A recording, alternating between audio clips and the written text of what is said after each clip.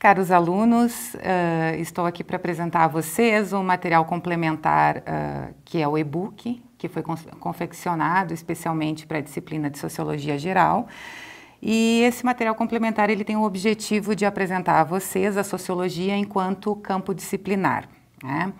Isso será acessado através do seu processo de formação, né, do processo de formação da sociologia, bem como o processo de historicização da mesma. Através e a partir dessas questões, nós passaremos a conhecer os principais sociólogos clássicos, seus conceitos e paradigmas de pensamento.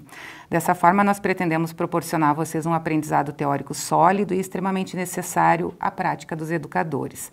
Por que é necessário? Porque a sociologia, assim como qualquer outra ciência, ela não é uma ciência neutra, né? E seu conhecimento ele esteve desde o seu processo de surgimento, lá no século XIX, relacionado a interesses vigentes na sociedade, uh, que se encontrava sendo gestada. Que sociedade é essa? Estamos falando do mundo europeu, estamos falando especificamente do século XIX.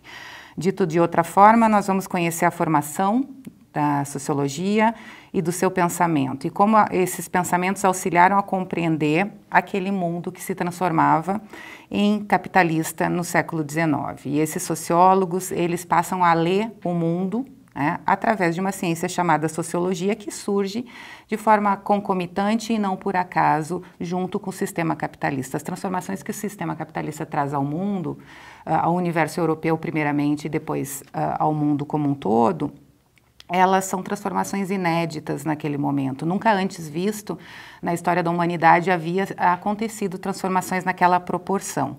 E esses sociólogos passam a organizar uma ciência que se chama, então, portanto, sociologia, e, e tentam explicar o mundo, então, a partir de conceitos, que é o que nós vamos uh, trabalhar neste e-book, né? Além disso, e não menos importante, o fato de que muitas dessas correntes de pensamento, elas permanecem sendo acessadas até hoje, lidas e utilizadas pela sociologia contemporânea e por, e por muitas disciplinas próximas e do universo das ciências sociais e humanas.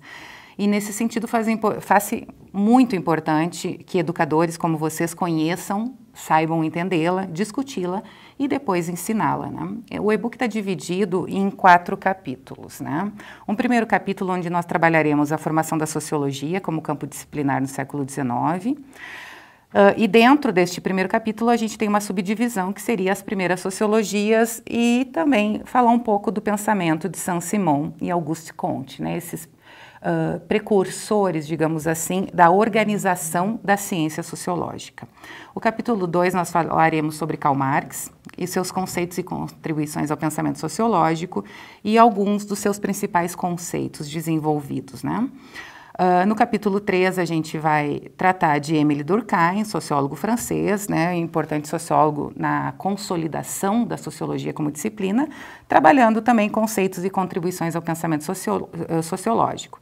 E, por fim, no capítulo 4, trabalharemos com o sociólogo alemão Max Weber, através dos seus conceitos e contribuições ao pensamento sociológico. Uh, bom, essa é uma apresentação, então, geral do e-book, desse material que vocês têm uh, como auxiliar, é um material de apoio, mas extremamente importante e organizado especialmente para essa disciplina.